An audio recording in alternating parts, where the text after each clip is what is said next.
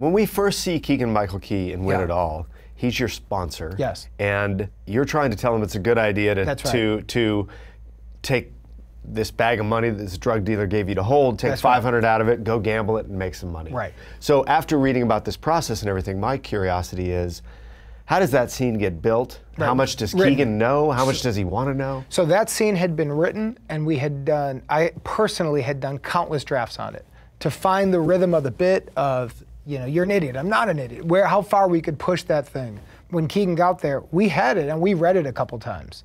Then we literally got rid of the scripts, and when we started shooting, I would probably on the first line do something different to let the other actor know now there's no net. Like one of the moves I really like to do as an actor is like if I'm doing press with somebody, and you know you get asked the same question all day. Right. Well, as soon as they ask it, I'll answer the way that they're about to answer, just and give them a smile to know like let's just around with each other, just be with each other, and then it's at least fun for us.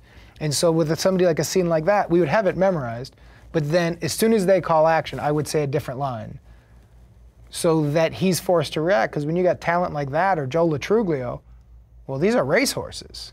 I'd rather see them run full speed than try to remember what I wrote on my computer six months ago.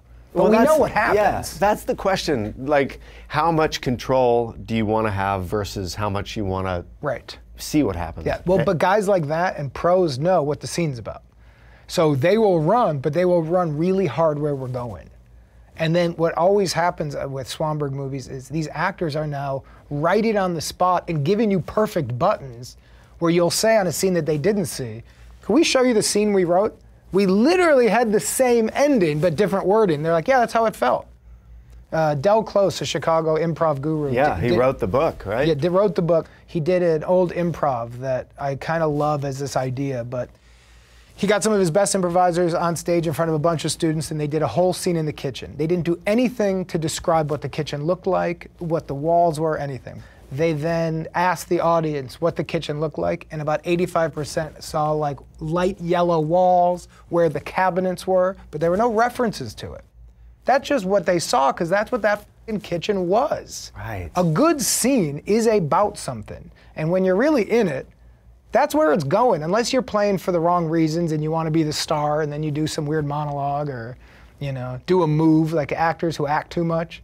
Well, all of a sudden, like take a handkerchief out and, you know, or like light a cigarette in the coolest way when you're like, cool it with all that. This is building somewhere, and we could either write it or we could find it. But what I like to do is write it before so that Joe and I and our camera operator know where we're going.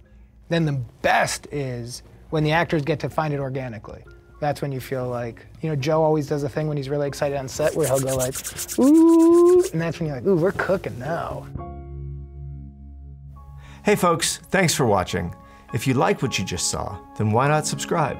Click right here for lots more off camera. And if you want to see the hour long version of these conversations, I'm going to give you the secret link. Here it is offcamera.com. Check it out.